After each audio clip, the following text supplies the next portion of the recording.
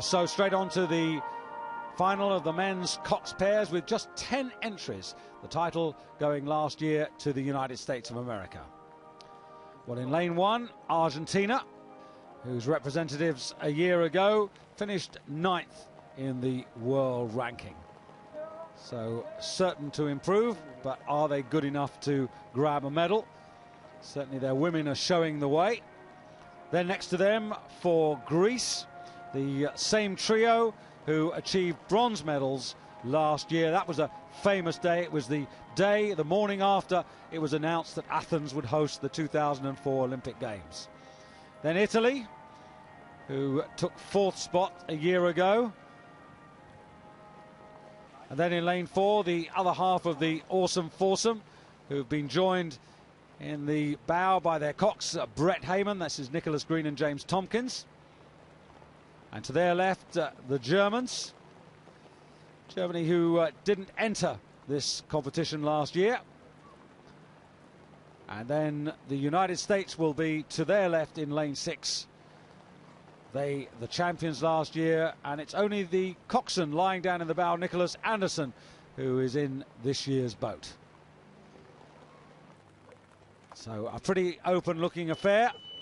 And the medals, I would say, Dan, all up for grabs here. Well, I think the Australians have the, uh, the, the edge on technique and experience. They really are an extremely classy uh, couple of uh, athletes here. Uh, gold medalist from uh, the Olympics, gold medalists in the Coxless Four. Uh, here they are split into two pairs, and this pair here, I would have thought, although they started quite slowly, I'd have thought they're the guys to watch. At the moment, the Italians have gone out at first.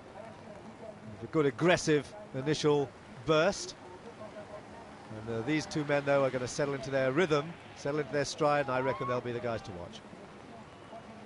So the green and gold in Australia, three from the bottom of your picture, but it is the Italians as we now get a look at the uh, Germans. The man who's uh, in the bow there, Sven Ueck, and the man setting the rhythm in front of him, Mark Kleinschmidt. Their coxswain, Felix Erdmann. German pair moving very nicely there, but you, already you can see how quickly the Australians have moved through the field and they're now in front.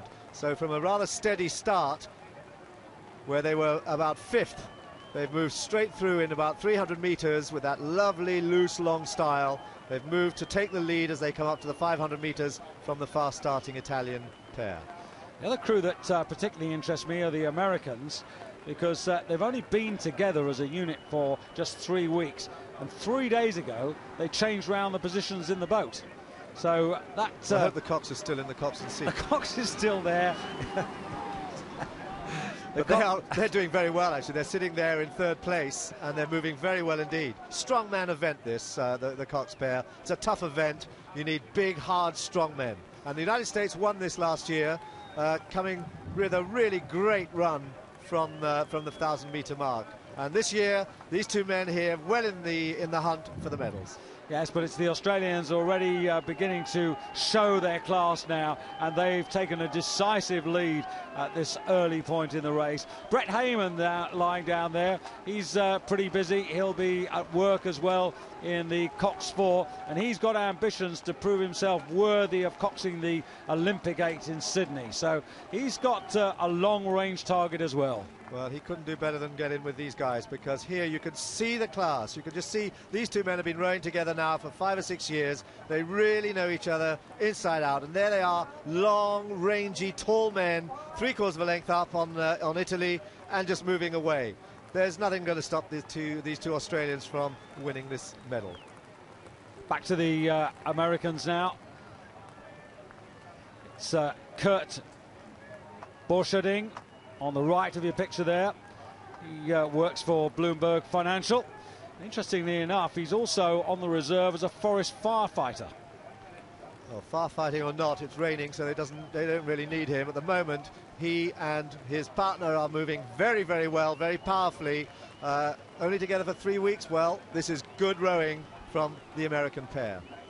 His partner, uh, Philip Henry, though, very useful oarsman, came out of the World Championship 8 from last year, the winning 8. So there is some pedigree there. But the Australians, the man on the right of your picture there in the bow there, that's Nicholas Green. He was the man who was really sick. And uh, I suppose you could say it was as a result of his sickness that the awesome foursome weren't as great when it came to the trials. Well, they're pretty great now because they're leading this field by a length and a half with Italy in a good, strong second position and the United States now having to hold off an attack from Argentina on the far side, the top of the picture there, and Greece, who were uh, medalists last year. Yes, the Greeks are a little disappointing. They were much more positive a year ago, but uh, whatever it is, they don't seem to be able to go with the pace at all at the moment, and they are trailing. But the Australians now, with just under 750 metres to go, looking better and better and better, and it's a pleasure to watch them even in these conditions. Well, the, the, the Australians generally, but uh, this, uh, this this, this uh, pair of athletes from the Awesome Foursome are great technicians. They really set up a lot of store on rowing extremely well. They do they do nothing wrong really. They put the blade where they want to put it, just drop it in, connect with the legs, and open up. Here you've got a contrast in style, lots of leg drive, lots of power, hanging on, rating far higher than the Australian pair. They look uh, they look the rate that they're doing. They're tough, hard, but they're not pretty. And you can see that they're hanging on to there by dint of of, of aggressive rowing, whereas the Australians are just smoothing along, in control, looking two or three pips lower than the rating that they're doing, which is 36 and a half. Well, at the moment, the Australians uh, seemingly could win by as much as they want to win by. They really are comfortable, and the race is really on for silver and bronze medals. That's really where the uh, focus now is. Conditions are difficult. The water really is cut up again now, and it's uh, it's it's it's quite difficult for the uh, for the athletes. But uh, the Australians are not going to be troubled because they, they're well in front. They've got quite a cushion. Uh, Italy has moved out to nearly a length uh, into a secure silver medal position. But look how far out in front the Australians are. They really are enjoying this.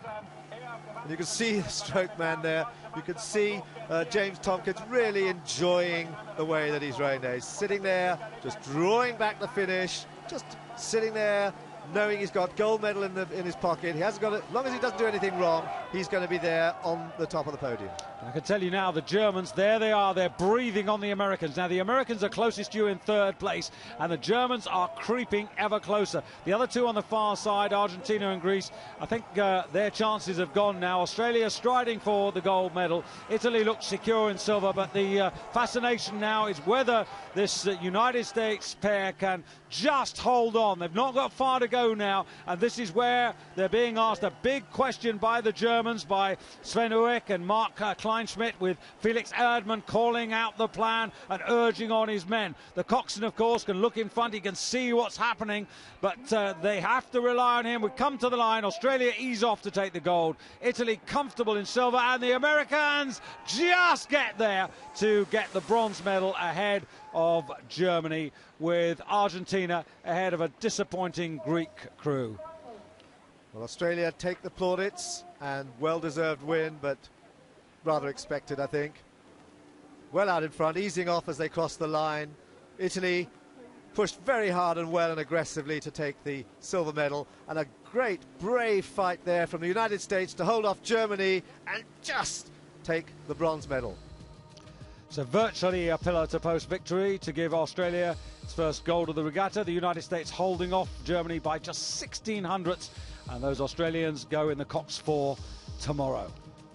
Here, just a last opportunity to see this really immaculate rowing from the Australian pair. Really good technique, well connected, nothing wasted, no mistakes.